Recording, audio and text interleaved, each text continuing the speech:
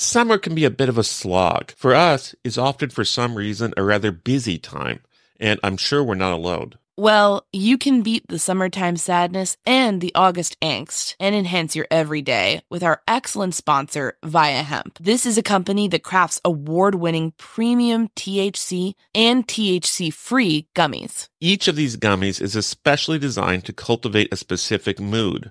Whether you're looking to get relaxed, get quality sleep, get creative, or just to get focused. If you're 21 or older, you can experience it for yourself and get 15% off your first order with our exclusive code MSHEET at viiahemp.com. That's V I I A H E M P.com.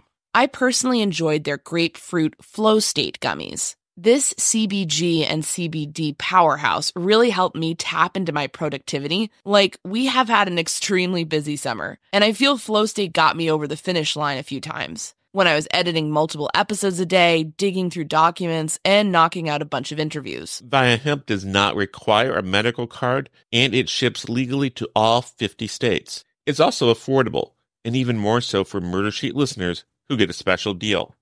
If you're 21 and older, head to viiahemp.com and use code MSHEET to receive 15% off. That's V I I A H E M P dot com and use code MSHEET at checkout. After you purchase, they ask you where you heard about them. Please support our show and tell them we sent you. Enhance your everyday with Viia.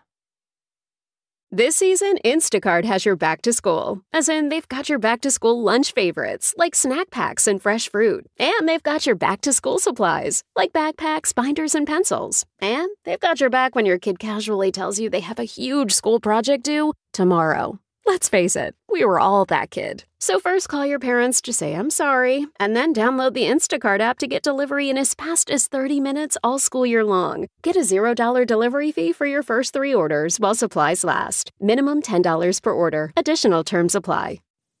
Okay, it's time to commit. 2024 is the year for prioritizing yourself. Begin your new smile journey with Byte, and you could start seeing results in just two to three weeks. Just order your at home impression kit today for only $14.95 at Byte.com. Byte clear liners are doctor directed and delivered to your door. Treatment costs thousands less than braces, plus, they offer financing options, accept eligible insurance, and you could pay with your HSA, FSA. Get 80% off your impression kit when you use code WONDERY at Byte.com. That's B Y T E dot com. Start your confidence journey today with Byte. Content warning this episode contains discussion of violence and murder. The killing started in Indianapolis. On April 8, 1992, 26 year old Robin Fuldauer was by herself in the Payless shoe store she managed. The business was right next door to a busy gas station, but no one seems to have noticed when a man came into the shoe store, shot Robin to death, and then disappeared. But he was only getting started. Over the next month, this unknown killer would murder a total of six people in stores in Indiana, Kansas, and Missouri. Because his victims tended to be in areas easily accessible by the highway, he became known as the I 70 killer. Not much is known about him or his motives. He did not sexually assault his victims. He did not steal large amounts of money from the businesses. Many suspect he may have murdered for nothing more than the joy of killing. We've covered this case before. We did an extensive interview with Mike Crooke, one of the key investigators on the case. We will link to those episodes in our show notes. Today, we will talk with Bob Cyphers, a reporter who has been on this story from the very beginning. He just wrote a terrific book on the case, Dead End Inside the Hunt for the Interstate 70 Serial Killer. In this volume, he includes details never before revealed and also goes into the chilling possibility that the I 70 killer may have continued to claim new victims long after his 1992 crime spree. My name is Áine Cain. I'm a journalist. And I'm Kevin Greenlee. I'm an attorney. And this is The Murder Sheet. We're a true crime podcast focused on original reporting, interviews, and deep dives into murder cases. We're The Murder Sheet, And this is Hunting the I 70 Killer, a conversation with dead end author Bob Cyphers.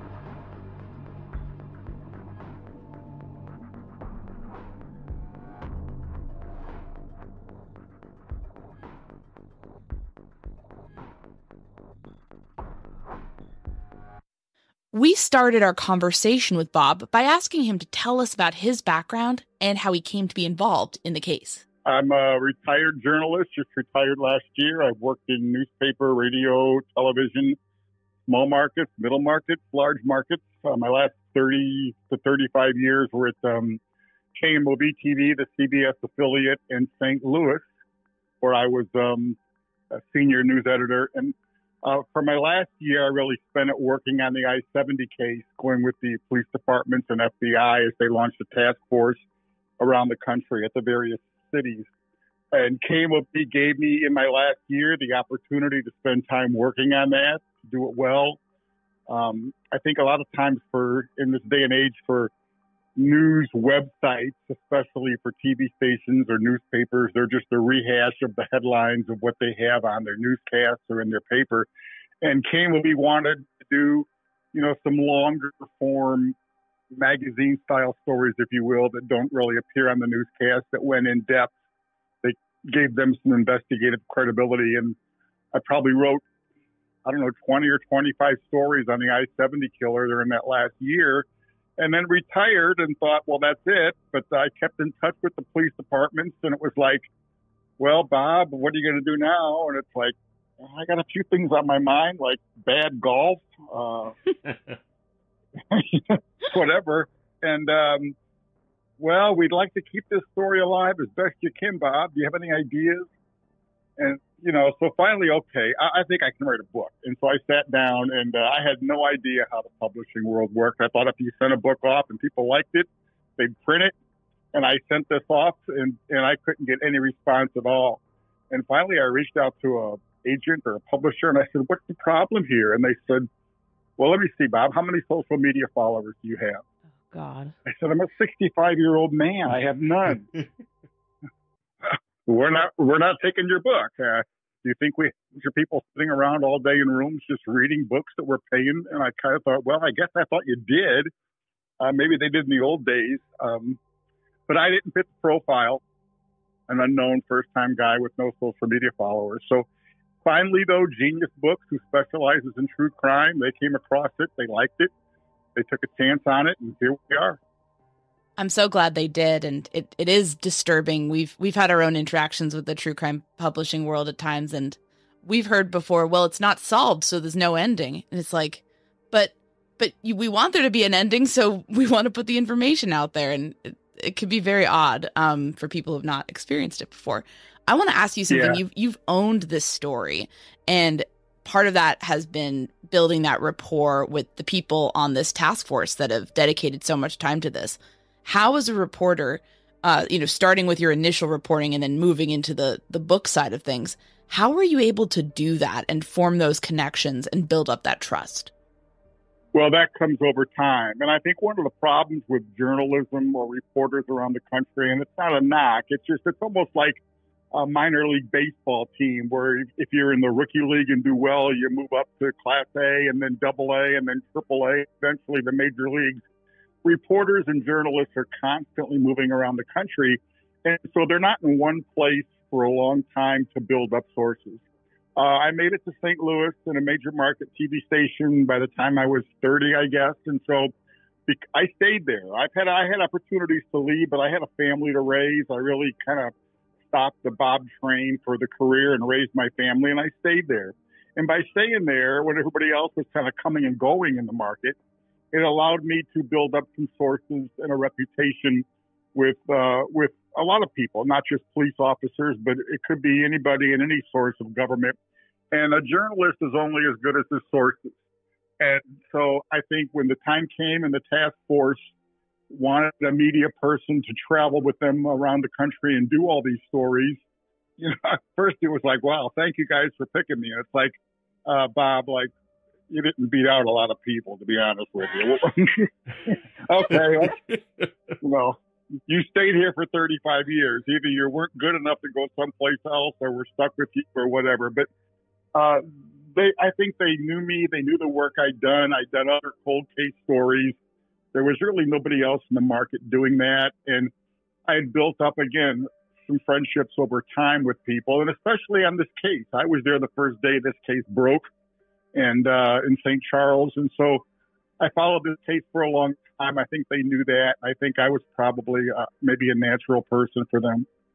One more Bob related question before we get into some case related questions. Can you tell us about that first day when it broke? Your memories of that? Sure, I recall it all, um, and it's early in the book. It was a Sunday afternoon, I believe. Uh, in May 1992. I was working in the newsroom on the desk that day. Uh, we had another reporter and photographer. We had a reporter and two photographers working, and uh, the Cardinals were playing baseball behind me. It was a relaxing, beautiful spring day, and I heard on the scanner a homicide call for the Bogey Hill Shopping Center, and it's like this was a brand new, really nice shopping center facility in St. Charles, a suburb of St. Louis, just off the highway. And my first thought was, a homicide call there in the middle of a Sunday afternoon, all these people would be around. It was a major shopping center. It just didn't seem possible. Um, my other reporter, photographer, was someplace else working on a story. So I grabbed the other photographer and I said, let's go. And we get out there, and boy, there's a big there, the parking lot's packed with cars. There's shoppers going in and out of stores. Police have crime scene tape up, and I we staked it out, and finally I saw a police officer I knew. I waved him over, and I said, you know, this is kind of odd. He goes, you tell me. I go, we got a what a robbery? What else could it be? Nope, no rob, no money taken. Well, that struck me as odd. It's like okay, it's like a, a rape or a sexual. Nope. Uh, we have a disgruntled boyfriend. Nope. Well, what do we have here? And he's like shaking his head, and it's like, we got a problem here. We don't seem to have anything here. Um, and that set me off as just, you know, I remember driving back to the to the station, talking to my photographer and saying like, you know, what could it be? We we're tossing everything in our mind. It was like there was just nothing that made any sense. And then sure enough, later, it didn't take long before, remember, communication wasn't the same back in the early 90s. The internet really wasn't the same uh, police departments weren't talking to each other, but it didn't take long. St. Charles was the case where the ballistics matched up with the other cities, and they knew they had a serial killer on their hands. So as soon as they did, um, that was my sign to get back involved in the case. And I've been kind of watching it closely ever since. Let's jump back to the very first confirmed killing which of course was Robin Fuldauer in Indianapolis, Indiana. Can right. you tell us a little bit about that case and what happened to Robin? Sure. You know, what, one of the saddest parts about all the cases is most of these victims were not even supposed to be at work that day. Um, Robin was filling in for a coworker, and Terre Haute, Mick McCown, had gone to a chiropractor who told him to stay home that day from work.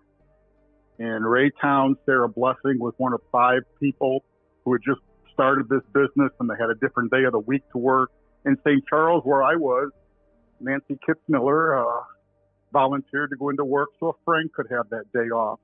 I mean, literally the fate of not even supposed to being there. And it started with Robin. And when I went to Indy to deal with the police departments and the and their families and the friends and whatever, what struck me was how close that Payless store, which is now a Batteries Plus store, was to the Speedway gas station. I mean, it is just literally steps away. Um, the walk didn't take me 10 seconds. And so you're realizing again, he's killing somebody in a public place in the middle of the day. And look at how busy it was right next door at the Speedway gas station. And one of the problems for the police department was how do you get away? Because nobody saw anything. Again, busy place, middle of the day, nobody sees anything. How does he get away?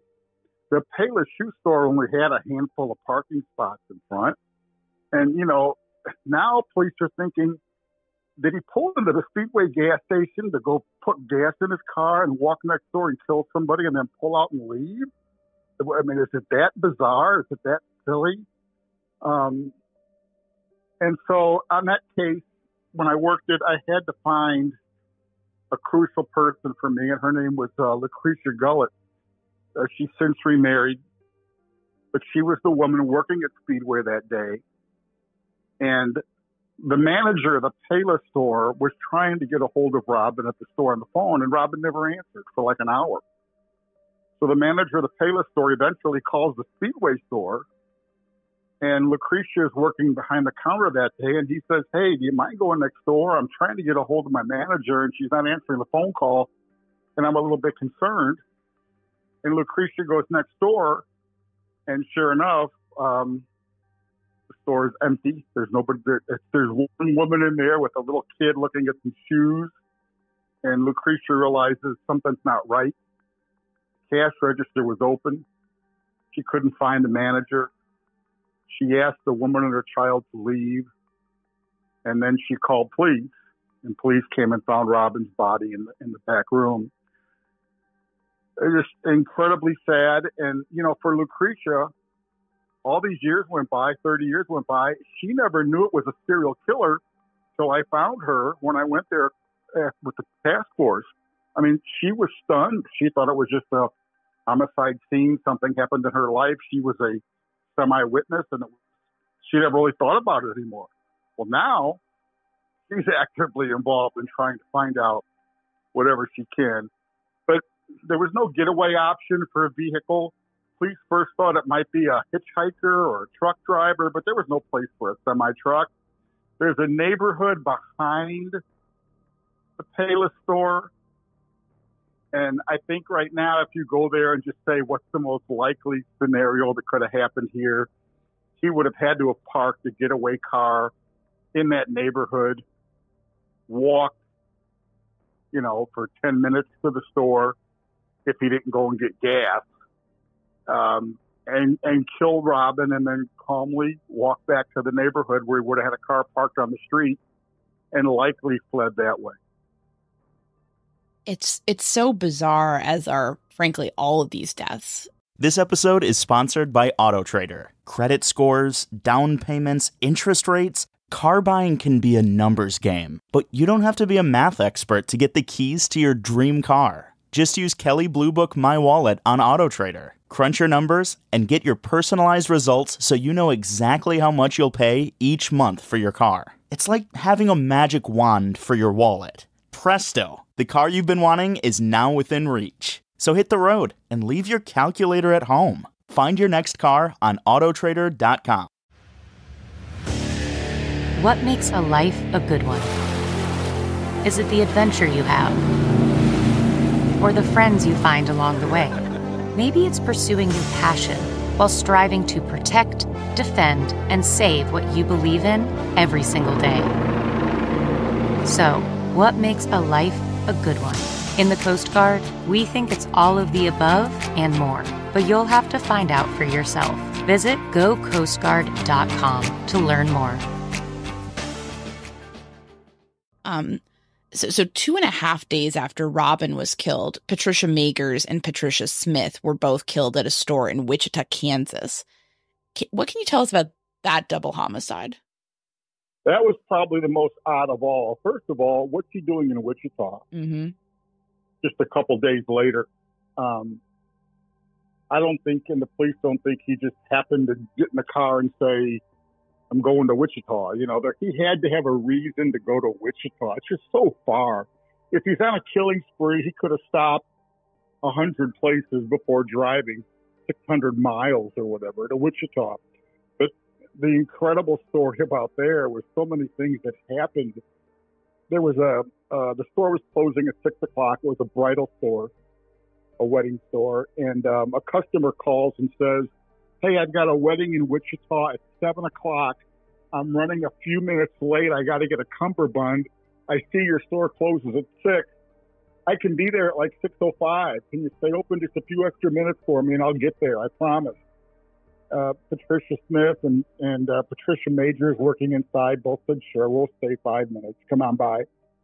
And so, right around six o'clock, when they're supposed to close, a man walks into the store, and uh, Patricia Smith is up front. Patricia Magers is in the back, and and they obviously believe it's the cummerbund man. Who else is coming in at six o'clock? Well, it wasn't the cummerbund man. It was the serial killer. And he takes Patricia Smith back to the back where Patricia Magers is, and he shoots them both in the head. Um, Patricia Magers is dead instantly. Patricia Smith is fighting for her life. And then the killer begins to walk out the store. Now, five minutes later at 6.05. And guess who walks in? It was a man looking for the cummerbund.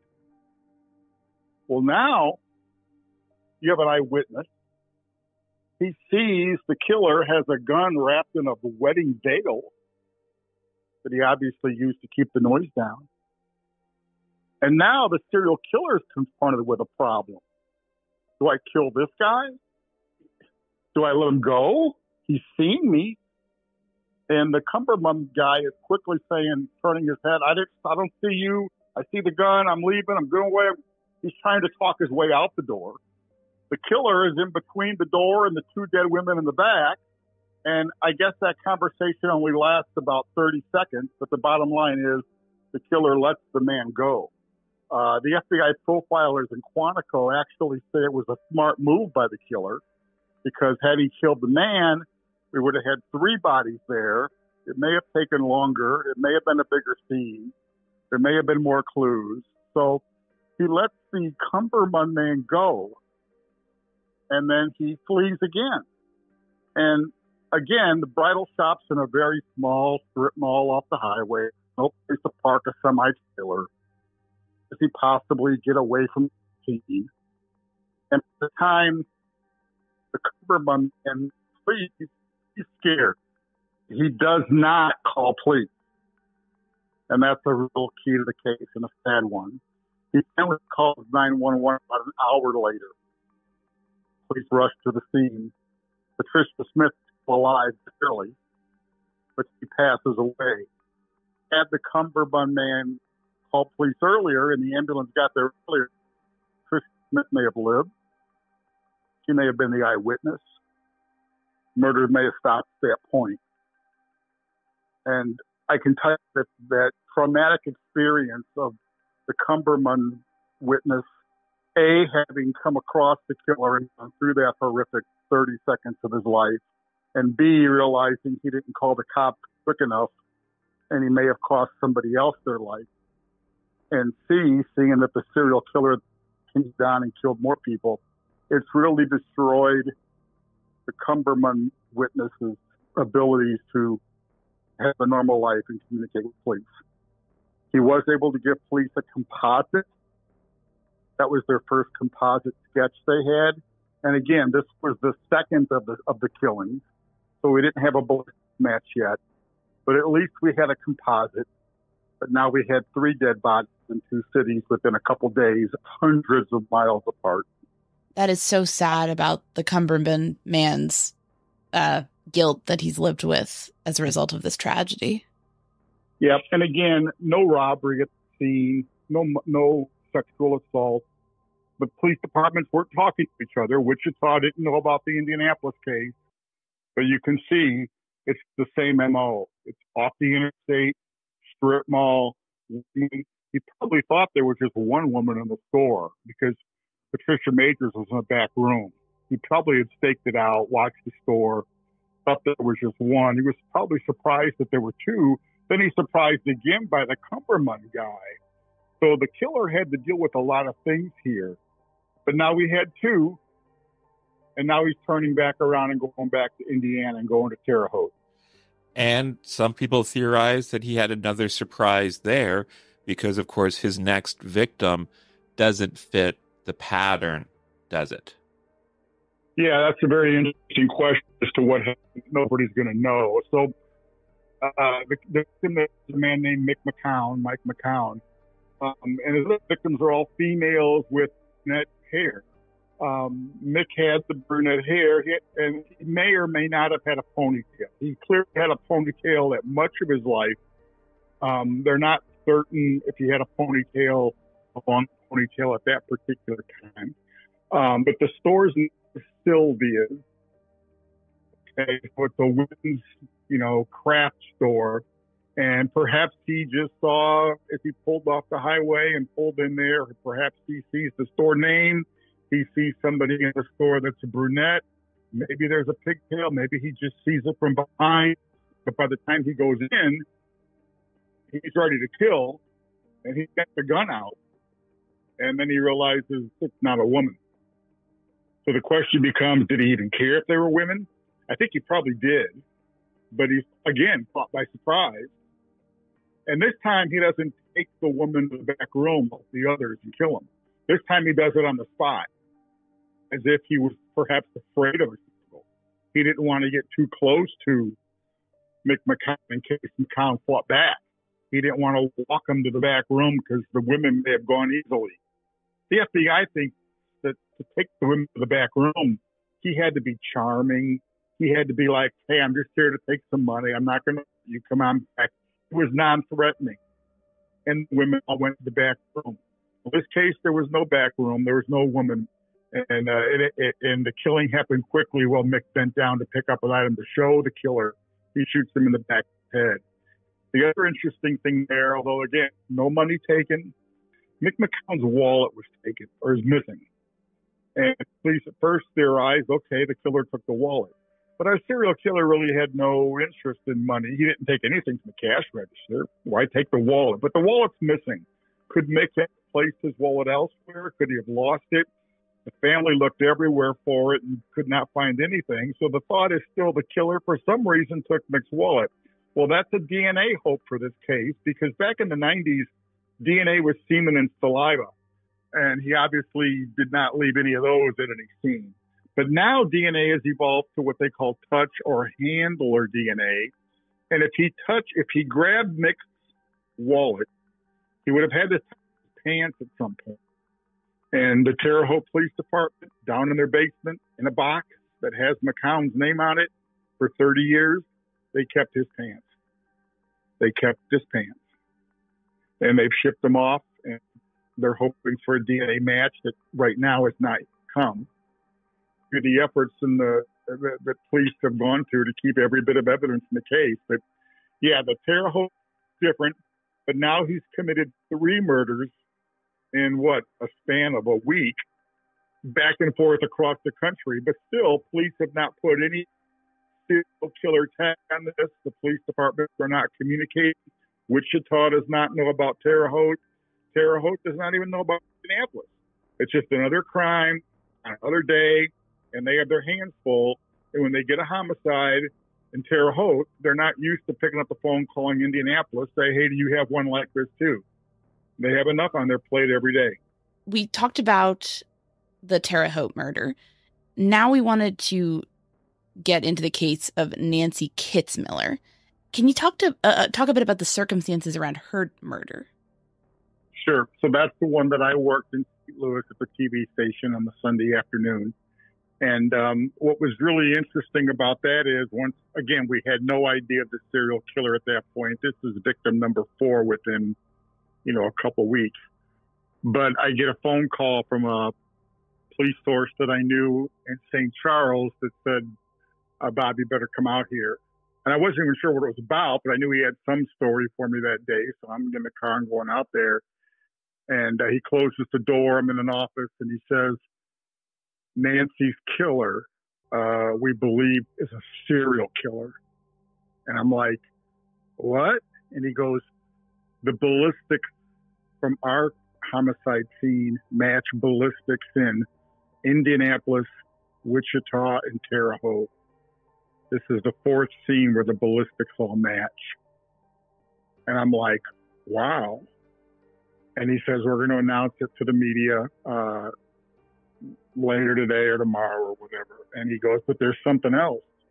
And I says, what? He goes, you're not going to believe what the gun is for the ballistics. And it's like nine millimeter, five revolver, you, the gun the killer gets in the trunk of somebody's car on the bad side of town. You know, what is it? No, it's a gun that we think is a World War One German Navy target pistol that barely functioned 70 years ago. And it's like, what? It's like, he's like laughing, like, it's unbelievable, but that's what it is. It was a gun called, an, they believed, an Erma Werke. They had two possible guns at that time, an Erma Werke or a Scorpion. They believed it to be the Erma Werke. And he's like, there's no way that this could possibly be happening. There's just no way. No killer chooses this gun to kill somebody. This gun's probably never been used in a homicide anywhere in the world outside of the war ever. And it's a gun that is now used by a serial killer 70 years later in homicides. I mean, that was just stupid. And now you add in the fact that there's no motive, there's no robbery, there's no rape, there's nothing. He's just getting off the highways. And now we realize, as they they'd already talked to Wichita and Terre Haute and Indy, now we kind of realized that whatever was happening here was completely off the off the rails. That there was no, they were going to contact Quantico to look for a profile, but there was just nothing that made any. Every time they opened the door on this now, it got more confusing. So they announced to the press um, that the ballistics matched, but they did not announce to the press that it was the goofy gun. And um, there started to become a debate there among the police departments and and me, representing, I guess, the only journalist that may have been involved. I thought they had to get this information out. I said, first of all, the public has a right to know. Secondly, it seems to be to me the key to solving the case. Somebody's going to recognize this gun and point to the guy. I mean, you've got to get this out. Police thought by getting it out, they were impeding the investigation. They wanted to hold stuff back. Um, at work now, my bosses knew I had something on this case that was new and legitimate and earth shattering. Uh, they didn't know what it was. I wouldn't tell them. I was protecting my source. Uh, the police department did not want me to go with it. Um, again, there was debate. I, I again stuck my nose in and felt like they should, both for the public and journalistically. I said, you know, this is breaking every code I know, not to not to get this information out to the public. They deserve the right to know. There's a killer going on out there. It'd be nice if people knew, you know, as much information as possible. Anyway, that debate went on for a few days or weeks, and they finally did announce um, that they had the gun. Um, they announced it after the fifth killing, or the sixth killing, the fifth scene in Raytown, suburb out of Kansas City. And once they announced they had the ballistics and they said the gun, the killing stopped. They just stopped immediately.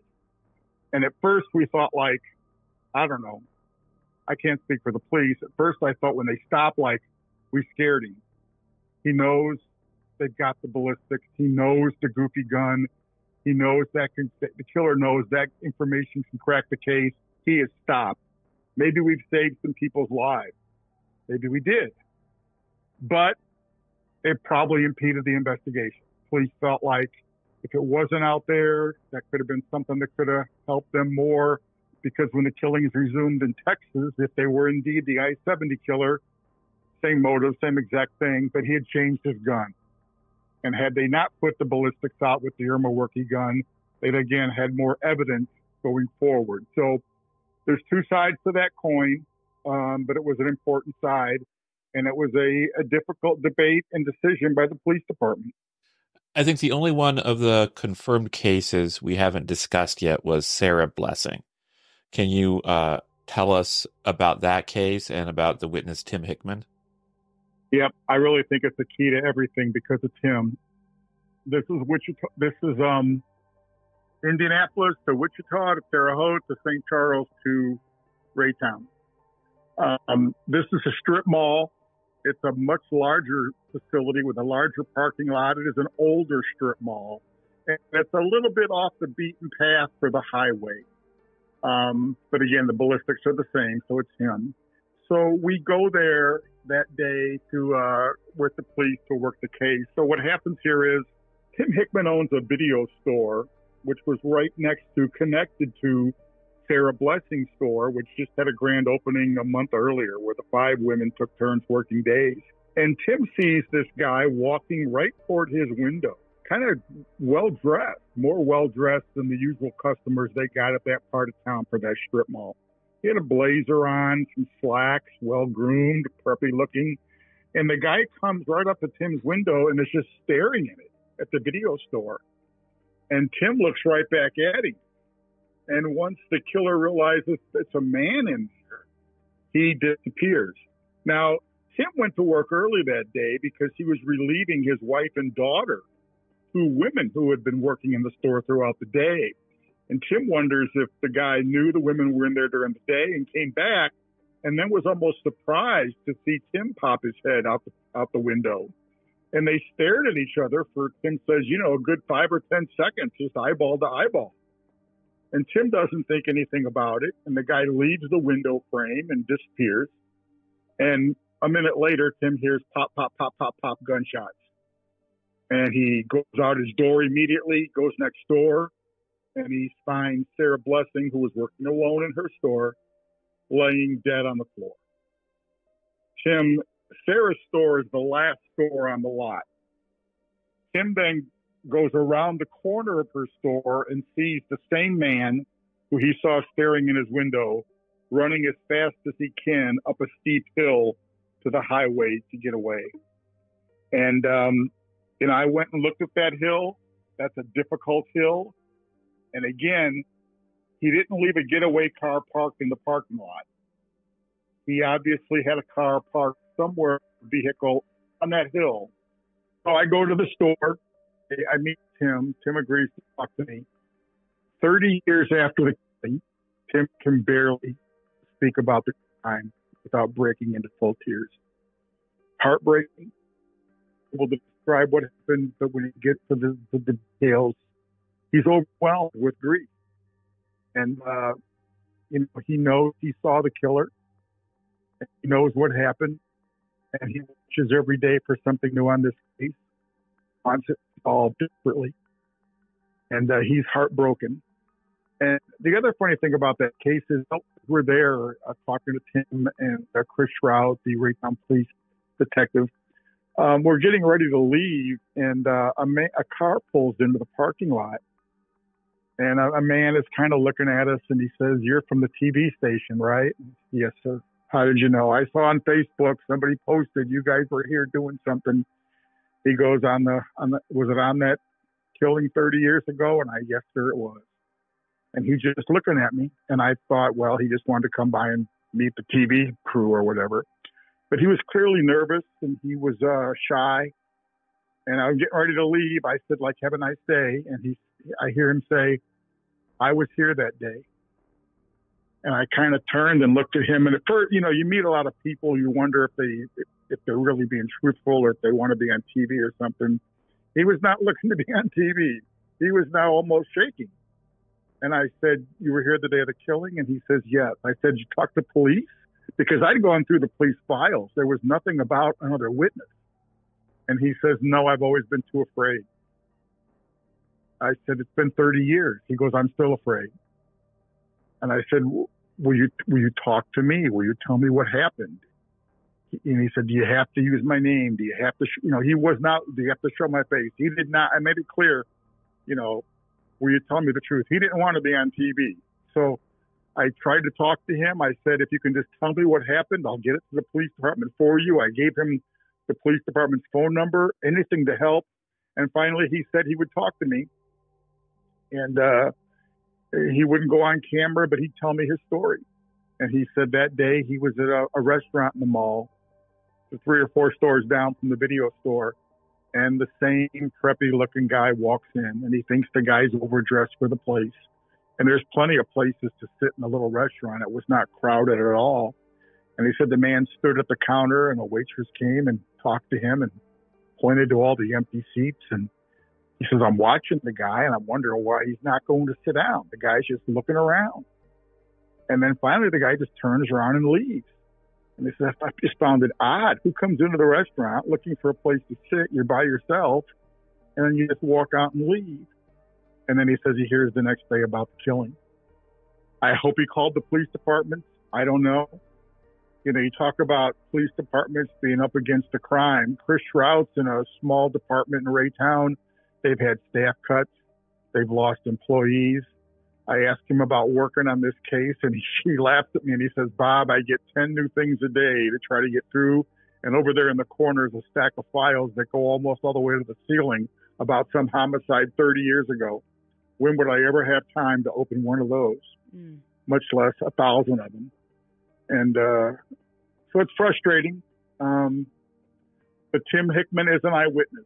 To me, he's the best eyewitness. And um, but you have to realize, even if the police called caught a suspect and Tim looked and said, "Boy, that's the killer," you know, a defense attorney's going to put him on the stand and say, "Sir, this is your memory of 30 years ago, what the guy looked like when he was 28, and now you're telling me this guy sitting here that's 60 years old is the same guy." You know, if you're on the jury, obviously there's a shadow of doubt there. Absolutely. It's just it's just that old. Um I mean, but what you said about how this has affected Tim is just so it's so poignant and you yourself have met and interviewed so many friends and family members of the victims in this case. And you know, just speaking collectively, how have these people been affected by not only the loss of their loved ones, but the uncertainty that remains around why this horrible thing happened to them? Yeah. I think back to Terre Haute, where I brought the two sisters together, Cynthia Brack and Teresa Lee. They had not spoken a lot in recent years. Time goes by, the hurt has always been there.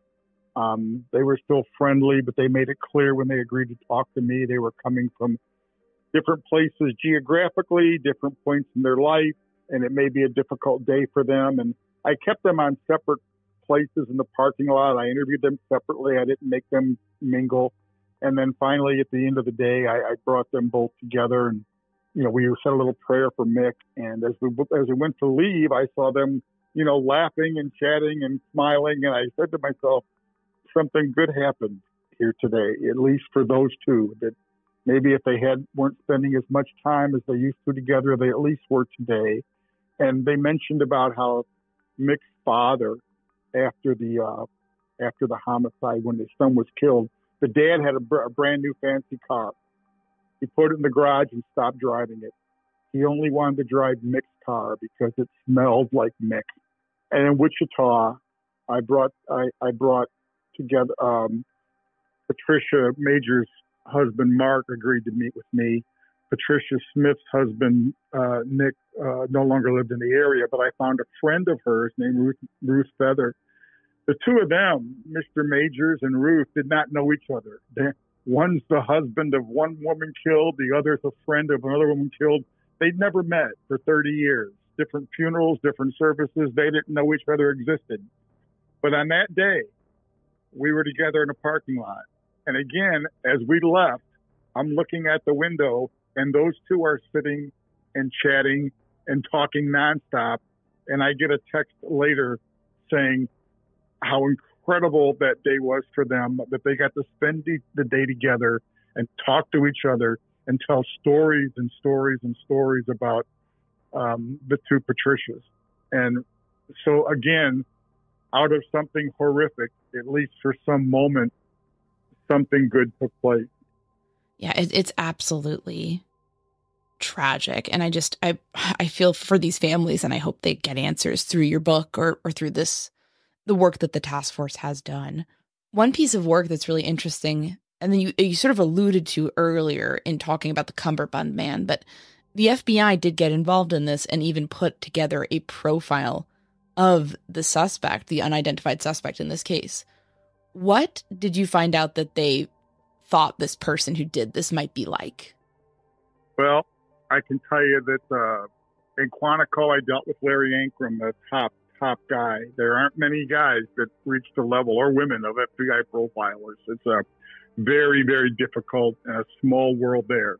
And with this one, their hands go up in the air because there was nothing like this. You know, with Ted Bundy, well, he likes the college girls, or with Jeffrey Dahmer, he's picking up the gay men. Or even in Indianapolis, where they looked, was there another serial killer in the area? Herb Baumeister was a serial killer in India along Highway 70, but it was gay men. They all had a motive. This guy has nothing that they can pin on. Again, no robbery, no rape, no no nothing. He doesn't know these. There's just nothing there. And and then you add in the gun, and then you add in the getaway car, and then you add in the lack of DNA. Even for the profilers, there wasn't much to go on. That said, they were able to come up with a couple of things. They believe he was from the Indiana, Indiana area because he started there and he came back there. They think that he plotted these things out in advance. They compare Larry compared it almost like to a um, dating somebody where you have a plan of how you're going to call the girl up and ask her for a date, where you're going to take her, or going on a vacation, how you plan the vacation ahead of time. That he got great excitement out of the planning purposes. He wasn't just in his car one day and said, I'll get off and kill somebody today. He had to plan these out. But they couldn't find out anywhere he would stay afterwards. They felt like after he would kill somebody, it would almost be like finishing a sex act where he'd need to collapse. He was just ecstatic and he was exhausted. He was just wiped out. And where does he collapse at? They checked every hotel and every campsite. They had they had a list of like seventy thousand names of people in every hotel in every city within hundreds of miles, and they checked them all. One of the people they called and checked was Kevin Costner. oh my gosh. Eliot Ness himself. Yeah. Kevin Costner's like, is this heaven? No, it's Wichita, Kevin. you were in Wichita. but nothing. Just no trace of this guy. So again, you're the profiler. Give me a, a nugget to go on. Larry Ankrom keeps using the phrase, I follow the cookie crumbs. There just were no cookie crumbs here because we've never seen this before. Had there been a sighting of a getaway car? Had somebody seen him in a semi truck? Okay, that would narrow the list. But nothing. Just absolutely nothing. Could he have enlisted in the military while he took time off between these killings and the Texas killings? They checked everybody who enlisted. Nothing. Could he have gotten arrested for something else in jail? They checked everybody in that year span. Nothing. Could he have been killed? They checked all deaths in the area. Nothing there was just nothing for them to go on. And um, so for a profile, you know, in Wichita, the police uh, detective who's handling this case, a man named Tim Relph, this is not his first rodeo. He handled the BTK killer. This is his second serial killer. Jim caught the BTK killer. Jim was a little boy going to grade school when the BTK killer Dennis Rader first started in Wichita, a, terror that lasted nearly 20 years, killing a family of four down the street from where Tim lived. Tim would walk that street to school every day and was haunted. And his whole life, he kept thinking about that BTK killer. Jim winds up going to college, getting a job at the Wichita Police Department. Guys retire over the years, and what case lands on his desk? The BTK case. And Jim is like, wow. Well, the BTK killer, like um, the Zodiac killer, like the movie Desperately Seeking Susan with Madonna, tried to communicate with police through the newspapers in the classified section with secret names going back and forth with Tim. The BTK killer would leave a, he liked being called the serial killer. He'd leave a box of cereal on a, on a road with a flag on it and some motorists would have to stop and pick it up in the middle of the road. And on the flag would be an index card saying, tell the police where this body's at. And the, the driver would call the police, tell them what's on the card. Police would go to some address and there'd be a body. BTK killer had killed again. It was a cat and mouse game. Uh, well, then one day the BTK killer, Dennis Rader, tells the police in the want ads, hey, can technology has changed. I'm tired of this newspaper communication. Can I send you a floppy disk? Well, Tim says, sure enough, send us the disk. Dennis Rader makes the mistake of sending the police department a floppy disk. Tim takes it to the forensic lab and they trace it to a church in town. And Tim goes to that church and it's like, who would have had access to make this floppy disk? And they said the only person that has access to this is our church deacon, a deacon of the church named Dennis Rader. Tim goes through the files to see if there was ever any car that was a seen at the, one of these cereal box crimes getting away. And there was one spotted for a black Chevy Trailblazer. Tim gets an address for Dennis Rader's house through the church, drives by his house, and what does he see parked in the driveway? Black Chevy Trailblazer. Jeez. And the next day, Tim's got his SWAT team out. They arrest Dennis Rader. He's handcuffed. He's put in the back seat of a cop car. And guess who's driving him to the police station? Tim Relph. That's that's an amazing story. And you talk about you talk about a ribbon on a box that had haunted Tim his whole life. Uh, you think this serial killer is going to outsmart Tim Relph? Um, they just need some breaks. They just need some lead. It's just an, an amazing story. Now, one thing in a case like I 70 is when you don't have the ballistics evidence, it can be very difficult to determine if whether or not other killings are potentially related or not. And you've already alluded to this a couple of times, but I wonder if you could discuss the Texas cases with us. Yeah, very interesting. So the killing stop once we get the ballistic information out for a year, and we think, okay, the crime is dried up, but at least we are not killing people. And then they start again in Texas, just off the highway. Uh, two of them in Dallas suburbs, Marianne Glasscock and Vicky Vicky uh, or Amy Beth. Same exact thing. In and out, gunshot to the head, no robbery, no nothing. Now again, communication wasn't the same it took a while for stuff to get filtered back to the I-70.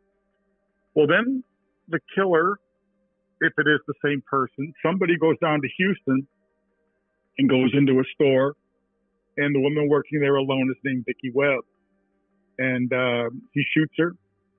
He leaves her to die, and as he's leaving, he realizes she's gasping for breath as she's covered her body's in a pool of blood. He goes back to shoot her again, puts the gun to her head, pulls the trigger, and it jams. It clicks. Vicky just hears the click. Her life was spared, at least temporarily. Minutes later, he, he flees. Customers come in. They find Vicky. They get her to the hospital. She lives. Vicky is scared to death because now whoever tried to kill her, she's never heard of the I-70 killer. Maybe it's the same guy, maybe it's not, but whoever tried to kill her knows she's alive. It's a big story. Vicky goes into hiding. She's not talking to anybody she, the police can't find her. She gets divorced. She gets remarried a few times. She moves around the country. She changes her name. She's not seen by anybody anywhere for 30 years. I kind of felt like for the book, I needed to find Vicky Webb. Now, that's easier said than done. So I I knew how old she was at the time. I knew 30 years had passed. All I had was a name. I went through marriage records, divorce records, real estate records, any records I could find of anything. And I narrowed a list down to about 600 Vicky Webbs, I think, in America. And I just started, I got phone numbers and I just started calling. And you know how it is. Somebody calls your phone and you see it's a bad number. It's a spam call. You're not going to talk to them. And, you know, for most of them, I didn't even get past hello. Sometimes it'd be hello. My name is Bob Cyphers. I'm a report. Click. Hello, my name is Bob Cyphers. I'm a reporter for KMOV TV in St. Louis, and I'm looking for the Vicky Webb click. I mean, again, I give my work credit for letting me sit into a corner for weeks and make these phone calls, and the newsroom's watching me as I stroll in each day half asleep. And eventually, I had an index card with everything written out because I'm saying the same thing every time. Well, I make a phone call one day. Hi, sorry to bother you. My name is Bob Cyphers. I'm a reporter for CBS in St. Louis. I'm looking for the Vicky Webb who was shot and left for dead in Houston 30 years ago. I got through it. Wow. I had no expectation. And there was just silence on the other end of the phone. And I say, ma'am, are you there? And I hear this meek voice say, I'm here. And I pause and, you know, I'm wondering, I'm thinking, ma'am, are, are you the Vicky Webb that I'm looking for that was shot in Houston 30 years ago and left for dead? And she says, I probably am. And at that point, like chills are going through my body. And my fist, I remember, went up in the air. And all the people in the newsroom that have watched me do this effort and futility for a month come running around, getting around me. And um, I realized it was one thing to find Vicki Webb. It was another to find a woman who went into hiding for 30 years to talk to me. I knew to do that, I had to do just like I did police sources for years. I had to build up a level of trust. I had to get her to know me. I had to get her to trust me. And I told her what I was doing. I told her to Google my name. I told her to read all the stories I'd done on the I-70 killer. By now, she knew there may be a connection. And I said, I'd like to talk to you. I'd like you to tell your story that you've never told. And we had to develop, it took time. It took a, it took friendship over texting. Happy Thanksgiving. Merry Christmas. Happy New Year. Happy birthday. How was your vacation? How was your daughter? And months went by. And um, have you read my stories? Yes, I did. Blah, blah, blah. Finally, I get a text that says, it's from Vicky, and it says, Bob, let's do it. And it was like, here we go. I found the woman the police couldn't find and uh, flew to see Vicky and had a wonderful couple days with her. And um, I think her story in the book is a, is a remarkable story. And to her credit, after that, she's now come out of her shell. She's done something with People Magazine, with uh, Discovery ID. Um, so she's made it clear she's no longer afraid that if, if it is the I-70 killer, she wants him caught. If it's not, she wants him caught too. Uh, whether she's a victim of that or not, she was still a victim. I think anybody who reads her story has to have some understanding of how important it is to come forward and try to get this solved. Absolutely. And I just think that that portion of the book is such a testament to your journalism and the fact that it's kind of a th- through line in a way of your career of like stay in place, build up trust, get the get the story, which is as you said not always common in today's media environment where it's just go on the next thing that's getting clicks, right? And sure. I just think that's great because it's allowed this woman to reclaim her own story. Yep. And in this case, it was even harder because I'm trying to build up friendship and a relationship over a texting system. I don't know this woman. She doesn't know me. It's one thing to go visit cops every day for 30 years and say, hey, here I am still. It's another to do with a complete stranger who's in a horrific state of mind all these years. So, no, that was a that was a, a wonderful thing. I, I uh, very much so. And now I think where the case moves forward, as they've covered all these, is the Billy Brostman case. Yes, I wanted to go back to Terre Haute, and if you could tell us about that and its connection. So, 10 years after the I 70 killing stopped, so around 2001, 2002, I guess, back in Terre Haute, just a mile away from Sylvia's where Mick McCown was killed, there's another killing. This time, though, there's incredible security camera footage, as good as you're going to see security camera behind the counter of a liquor store. The man, the, the man working behind the counter is named Billy Brostman in Terre Haute. Nobody's in the store, and then here comes a preppy looking guy that comes in the door. He walks to the back, he grabs a six pack of beer, he brings it out to the counter, and he brandishes a gun. He makes Brostman walk to the back of the store, around the corner where you can't see the killing take place, but he shoots him. After he shoots him, he does a little celebratory dance in the aisle and then flees out the door. He doesn't even come back to get his beer. He doesn't even go to the cash register. He only went into that store for one reason only the thrill of the kill. The same motive for the I 70 killings. And this one's a mile away from where he killed, where somebody else was killed in Terre Haute. But now the police have incredible video it's his face is, is right there for you. There's a wedding ring on his finger. So please start looking for DNA on the beer. They don't have our fingerprints. They don't have enough.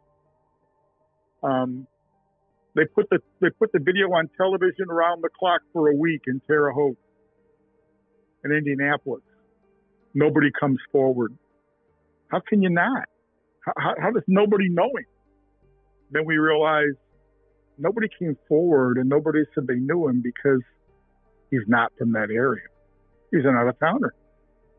Nobody's seen this guy before. Well, Tim Hickman might have. Tim Hickman might have. So please have the Brosman video. They've got the Brosman homicide.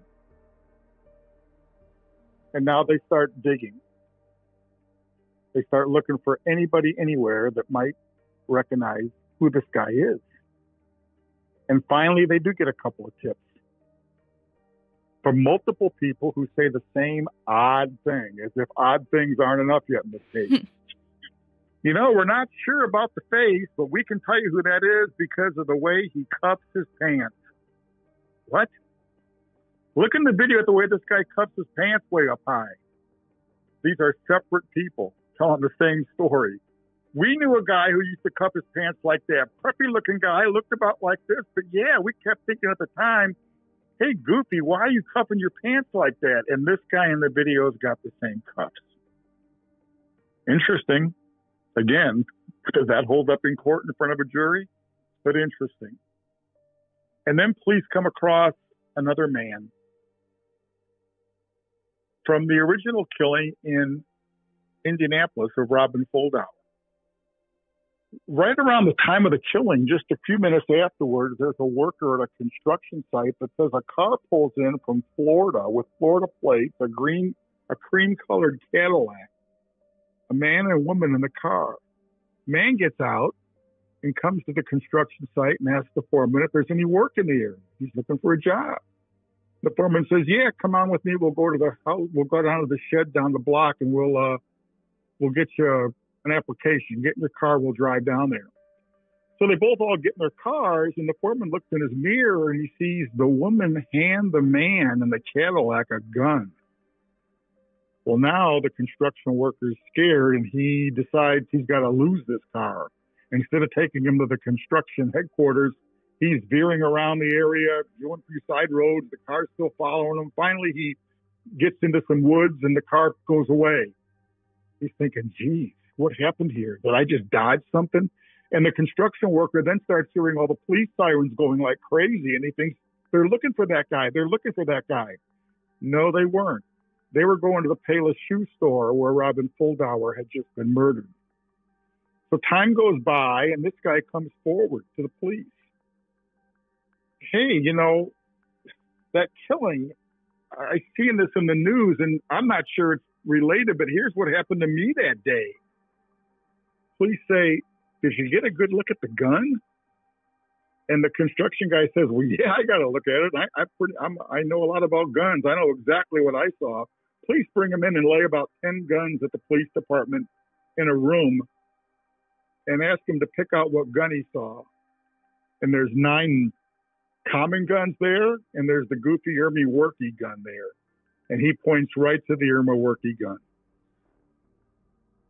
Oh my gosh. That's that that part of the book gave me chills reading about that connect that missed. I mean that and and to, to think a woman might have been involved because to me before I learned about that incident, I seventy always just struck me as a guy doing this by himself like a phantom, but the fact that it might have been an accomplice also could explain why nobody's ever come forward about their boyfriend or husband, frankly. Well, I can tell you that the police department have had more people come in in the last um, in the last year since the task force trying to ID the Billy Brosman person in the tape. And I know, I don't know that this has happened, but I do know that they have been trying and trying and trying to get an ID on the woman in the car. And if they can get an ID on the woman in the car and the woman in the car could identify the male in the car and the male in the car could wind up being the Brosman male. Now there's a path. Yes. So they are still trying hard. And let me tell you, when I talk about trying hard for these police departments, you think, okay, well, this case is 30 years old. Chris Trout in Raytown has files to his ceiling. He'll never get to them. But they did their task force. They did the best they could. They're sending off for DNA. They're waiting. But, you know, they got other things to do. In St. Charles, there's a woman on the task force whose name is Kelly Rhodes. Kelly has one job and one job only every day, and that's to solve this case. So, two weeks ago, I am in one of the homicide cities doing a media tour for the book. And who shows up there at one of the police departments? Kelly Rhodes. Oh, by the way, Kelly's eight months pregnant. She ain't giving up on the case. She's working the case every day. So when people ask me, do you think it can be solved? Yeah, I think Kelly Rhodes can solve it. It ain't just sitting in some basement somewhere in a box. They're trying.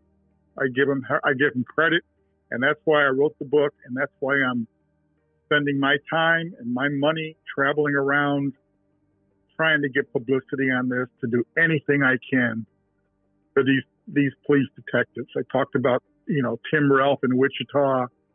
You know, in, in St. Charles, there's a man named Pat McCarrick who's retired now. He's getting up there in age. He can barely walk with a cane.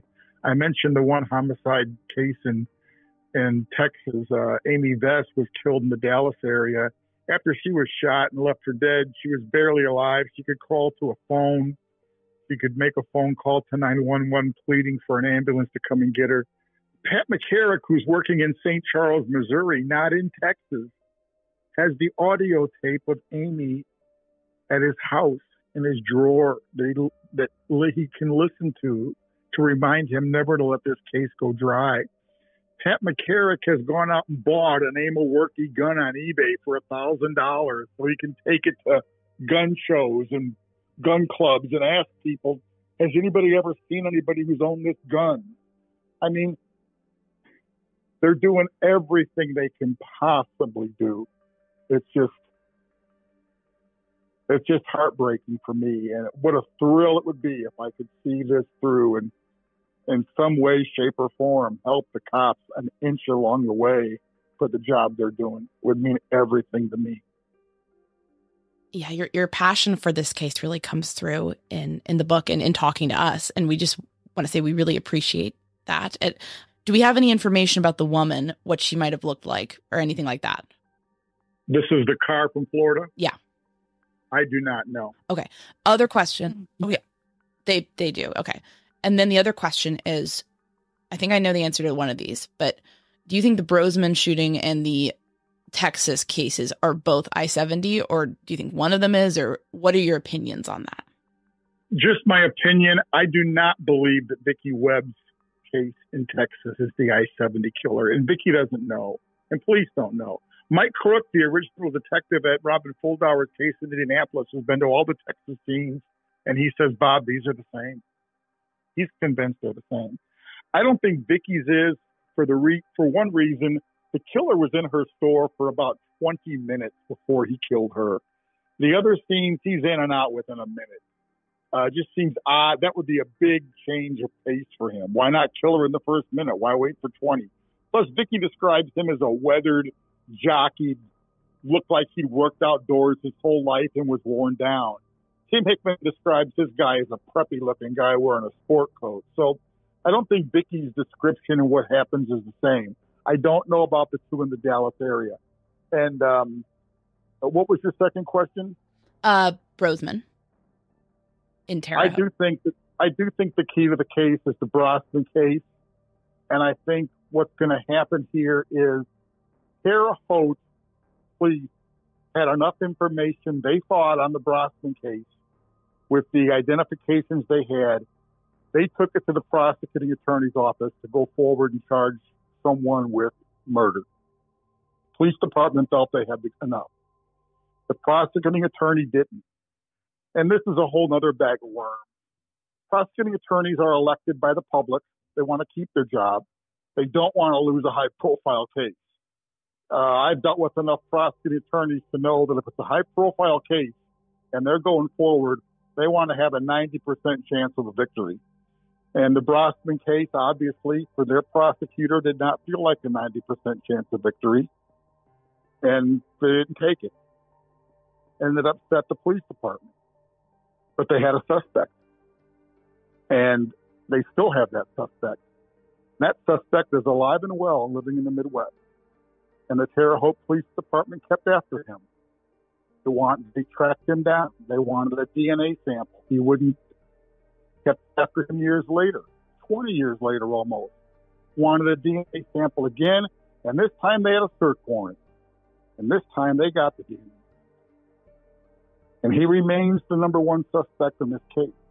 But Terre Haute's prosecuting attorney's office is not going forward. But that's not stopping the task force. Task force has other cities where homicides occurred. And if, and they're still working on this guy. And if they get enough, they're going to go to their prosecuting attorneys and say, let's go forward. Let's take a crack at it. But make no mistake, they have a suspect. They have a suspect.